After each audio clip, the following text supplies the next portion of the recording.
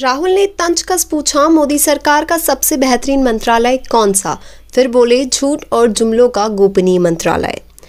कांग्रेस नेता राहुल गांधी केंद्र सरकार पर लगातार हमलवार रहे हैं। हाल के दिनों में उन्होंने लगातार ट्वीट कर सरकार से सवाल किया है। रविवार को उन्होंने ट्वीट किया कि भारत सरकार का सबसे कुशल मंत्रालय कौन सा है। इसी ट्वीट में उन्होंने आगे लिखा कि झूठ और फालतू नारे लगाने वाला गुप्त मंत्रालय। बताते चलें कि इससे पहले कांग्रेस के पूर्व अध्यक्ष राहुल गांधी ने शनिवार को कहा था कि कोरोना वायरस महामारी में लगाए गए लॉकडाउन से पैदा हुई आर्थिक तंगी से निपटने के लिए मनरेगा को मजबूती दी जानी चाहिए।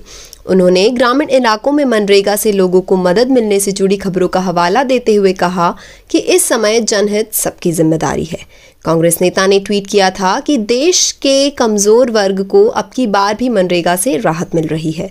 लॉकडाउन से पैदा हुई आर्थिक तंगी से निपटने के लिए इस योजना को और मज़बूत करना ज़रूरी है।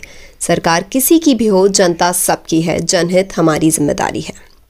पेट्रोल एवं डीजल की कीमतों में बढ़ोतरी के विरोध में भी शुक्रवार को उन्होंने ट्वीट कर विरोध जताया था। राहुल गांधी ने ट्वीट किया था, जीडीपी गिर रही है, बेरोजगारी, बेतहाशा बढ़ रही है, ईंधन की कीमत आसमान छू रही है। आखिर भाजपा कितने तरीके से भारत को लूटेगी? बताते चलें, इससे पहले कांग्रेस नेता ने मांग की थी कि टीकाकरण केंद्र के बिना ऑनलाइन पंजीकरण के जाने वाले देश के प्रत्येक नागरिकों को टीका लगाया जाना चाहिए। उन्होंने कहा था कि जिनके पास इंटरनेट नहीं है, उन्हें भी जीने का अधिकार है। राहुल गांधी ने ट्वीट में लिखा था कि वैक्सीन के लिए ऑनलाइन पंजीकरण ही काफ़ी नहीं है। टीकाकरण केंद्र पर जाने वाले हर उस व्यक्ति को इसका लाभ मिलना चाहिए।